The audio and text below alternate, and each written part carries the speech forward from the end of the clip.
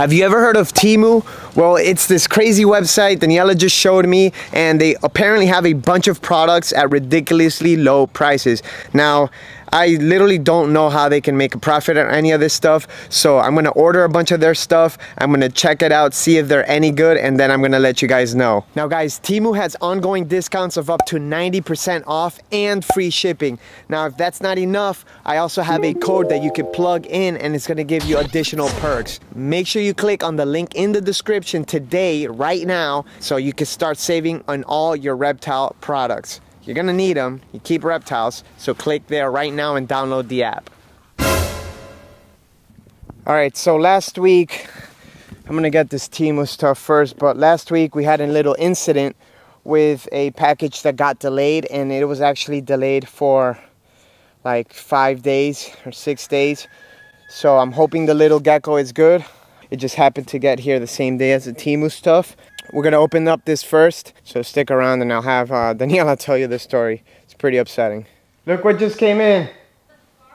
Yeah. Shut up. Is it alive? I don't know. Oh, you're in a... Are you filming? yeah, I'm filming. I just happened to be filming for the Temu, and I saw the box out there, so... You can't put that on camera. Get dressed. Don't put this on camera. Get dressed. This poor thing has been in transit for over a week now. Let's see how good Tiki's Gecko's packaging really is. Oh man, don't say No, that. How long has it been in transit? It's been a week. We shipped it out on Wednesday last week. Yeah, so apparently the UPS customer center decided not to take it.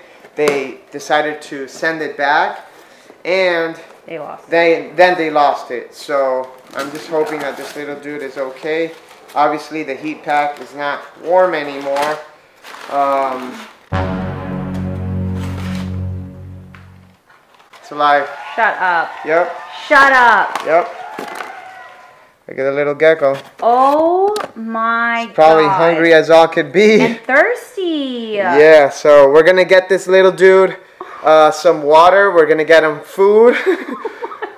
um, I know, honestly, like these guys are so resilient, and people worry so much about the packaging and all that. But I tell you, we know what we're doing. She's literally in her bath towel right now because we just had to open it real quick. But um, all right, I'm gonna get this guy some food. We're gonna get this set up, and now I'm gonna do the Temu video, and I'm gonna show you guys what is going on with Temu. He's never shipping out again. He's ours Yeah, he's- right. That's it. Alright, so we're gonna rehydrate this little one for a couple minutes. Basically, I just put him in some shallow water, sprayed him down, let him drink a little bit. That's like the most important thing. You will see that when gargoyles or cresteds or any other gecko get really stressed or very dehydrated, their tail will actually zigzag a little bit. You can see that there, and it will make, you know, they'll kind of get wiggly, but um, this little dude will be fine now. We'll get some food in him after this. I'm gonna leave him here for a couple minutes, then we'll go come back and check up on him. Okay, so explain what happened. With that package? Yeah. Okay, so literally, we shipped out the package Wednesday of last week for a Thursday arrival to a UPS hub in the Bronx. Shout out the Bronx, because we apparently have had issues with shipping to New York, let alone the Bronx area lately. And um, the customer made me aware the following day while David and I were on our way to California uh, in transit and stuff that the hub re- uh, refused the package, which we've only seen that one other time, but that was directly to somebody's doorstep due to miscommunication. And I didn't know hubs could do that. So since Thursday and in transit to California and in California while we were there, we were dealing with this We were at the Reptile Super Show. We were at Pomona, the Reptile Super Show, and just calling, harassing, blowing up UPS, all representatives, just to figure out what was going on with this package. They gave us a bunch of excuses, and then they flat out told us that they lost the package. Then they told so us. we shipped it on Wednesday, Yeah. and today is Thursday So- of next week. So the the week little guy has been in days. transit for about a week, a little Eight bit over a days. week. Yeah. It's it's insane. I not to be that. Per- I really didn't think it was going to be a good outcome. Yeah. I didn't well, think it was going to be okay. That's why we pack them the way we do. um, we're rehydrating the little one right now, and then we'll give a little update on it. That was incredible. That I'm stunned. I'm happy. Happy ending. And the customer was super understanding. He knows it was not our fault. It was a complete mishap on the postal service. And we actually shipped him out a replacement gecko yesterday that arrived today safely um, without any issues. So everybody is happy. We're happy. Cool. Hey, you heard? What? The gecko made it back alright. Nah. Yeah, for real. No, there's no way. Let me He's got it. let me check it out. It's in the gecko room. Is it an, an ice cube? No, I had a heat pack that was dead. Alright, I'll see you later, man. All right, bye. Alright, let's see what Temu sent us. Now, I did order a couple things for me personally, not the geckos or reptiles. So, I'm not gonna, I'll put those aside. But this is the first uh, vine. I ordered a couple, but this is the first one here. Looks like pretty standard. You know, some of the vines that um, we get from the reptile shop. Here's some, a couple pieces of wood. Uh, the coconut hat. Oh, these are actually bigger than I thought they would be. All this kind of stuff is, you know, things you need when you keep reptiles, especially at our level. And all of these things were like, oh my god, I can't even tell you. It was maybe like 100 bucks for all this stuff. And that includes some of the personal stuff that I got. So it's super cheap. Bunch of little dishes. These are gonna come in handy. This is another vine. Bunch of little boxes. What, what's this? I, I even forgot what I ordered, honestly. Uh, oh, another branch. This is one of those branches that you stick to the glass. So this should come in handy. Trash. More trash. Another water dish.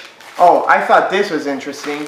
These are like little scissors that you could use to like basically pick up like mealworms or crickets and you don't have to get your hands dirty. So this is super cool for those of you that uh, you know don't want to get your hands dirty. You could pick up the crickets just like this and then release them into the enclosure. So this is going to come in handy. Trash, bunch of vines and decorations, fake plants and stuff that I ordered. All this stuff is super cheap. I got this Zoo Med Wipeout, which is basically just like a disinfectant. Yeah, they do sell some Zoo Med products on there, which is awesome. Now these enclosures are actually perfect for like New Caledonian geckos or even leopard geckos or things like that when you are breeding. This is a very, very good alternative because it's very affordable and they stack on top of each other. I actually already have some of these, but it's good to see that Temu offers them. And it's easy, you could just open up here, change the food if you need to. Light, you know, easy to clean. This is the type of stuff that, this is like what breeders use to keep their geckos. Looks like that's it guys. So actually, now that I think about it, this would make a good enclosure for that little baby gargle that we just got back. So I'm gonna set it up using some of this stuff and we're gonna get that little gargle uh, home and it's gonna stay here for a while. I'm just gonna make sure that it is well acclimated, it grows, it puts some weight on, and then maybe one of you guys will get it in the future. So let's go and put all this stuff to good use. Alright, so let's set up the cage for that little dude first. I'm going to just fold some paper towel and use that as substrate. The reason being, when I first got a gecko, I always recommend people to use paper towels so you can see if the gecko is pooping and all that good stuff. Next, I'm gonna put this little uh, suction cup branch here on the side. Make sure it's sturdy. There you go. Food dish and a little water dish. Now these might be a little bit big for this gecko in particular, but it's all right. See how I'll put this. Maybe I'll put this here like that. I could use one of these hides for the gecko. That works. And I'm not gonna over complicate the enclosure. I'm just gonna use maybe one of these uh, smaller plants over here. Oh, this is perfect. Okay, so this is perfect. I'll just use that to give, you know, plenty of, you know, visual barriers and to make sure the gecko feels safe after such a long trip you're gonna want the gecko to start eating right away. So any big open space is gonna scare the gecko. So this is actually a perfect setup for a little crested gecko little gargle gecko lychee or any arboreal tiny gecko. Since they do not need any lights this lid is perfect because it's gonna help trap the humidity in here very well. Now I will give you guys a little piece of advice if you have an enclosure like this, you're not gonna spray this every single day. I might spray this on the side once a week and make sure it has a full water bowl, but I'm not gonna spray it any more than that. Let's bring our little gecko and introduce him to his new home. Now, I typically do not advocate for hand feeding just because the geckos don't need it and a lot of people just get too fixated on wanting to hand feed their gecko and making sure they're eating every single day. What I tell people is that most of the time, you know, these little ones are not gonna eat right in front of you. In this case, since the gecko has literally been without food for over a week, I'm gonna put some food on my finger and I'm going to try and hand feed it. So let's see if I can get this.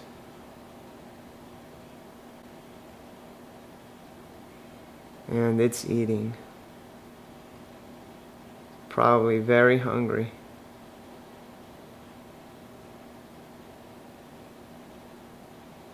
Imagine going one week without food.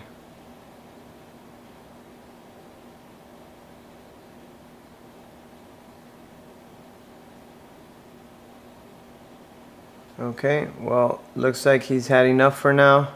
I'm gonna put him in his enclosure and leave him alone. Best thing you could do when you get a new gecko, especially after it's been shipped, just leave it alone and let it acclimate on its own. I'm not gonna hand feed it from here on out. This little guy will be able to eat on its own, but uh, just wanted to give it a little bit of food just to start off. Make sure he's all right. All right, gonna take this dude to the gecko house and then gonna see where we could use all the other stuff.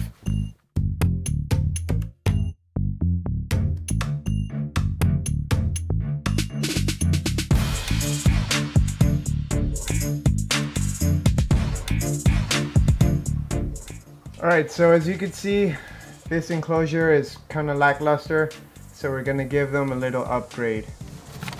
All right, so substrate, mulch, 12 by 18 by 18. So not the tallest, but they're two little uh, Cuban Nightingale babies. Anolis portior, the blue beauty anoles. the fuck is this? What? Okay, so that is for you, my friend. That's for you to not get your hands dirty anymore with the crickets. you can just scoop Oh, yeah, them up just- Mm, and throw them in there. you gotta work on that motion. First thing, I like to put the bowls in the front so it's easy for me to fill it up and clean it and take it out whenever I need to. Next, where are these vines at? I might have to spit on these.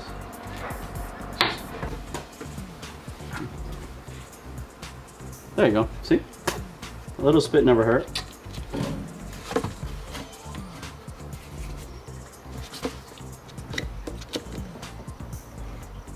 Pretty. Ah, it looks pretty. Yeah, it looks pretty. Thanks, Temu. Alright. Like they're gonna drink it. Not bad for a total of like 20 bucks. Take them out Major so you can upgrade. see them. Mm, they're quick little buggers. Yeah, there's one on top right I see there. it. What's up, buddy? Oh, I'm fine. It's gonna bite the fuck That's out of fine. there you Oh, go. it did. So the males have a cleaner body than the females. The females are gonna what does have... cleaner mean, man? Just say the females have bands. Alright, fine. The females have bands. Christ, Look at this. G. Typical anole behavior. She even got a little fin, too. It's pretty cool. Yeah, she has a really cool so you fin. see those stripes? Stripes and no stripes. Alright, let's put him in. It's pretty cool. She got the little fin. Don't bite me. Look at that tame. Ow. It bit you? Yeah. That's actually really cool. Oh, okay. Put the other one on the branch. It's gonna turn around and bite your ass. There you go. It's on right here. There you go. Alright, so we're using our little cricket catcher to throw some crickets in there. Go ahead. This is great, especially for those of you who hate touching bugs. Yeah. Look at this. Boom. And I still got clean hands.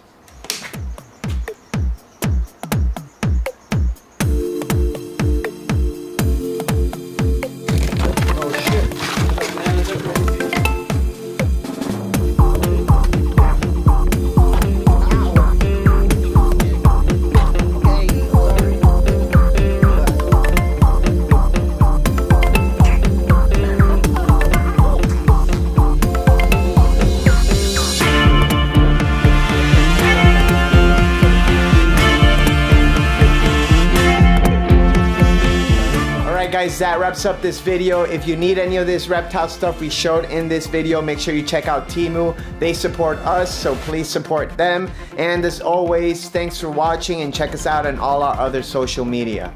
Boom.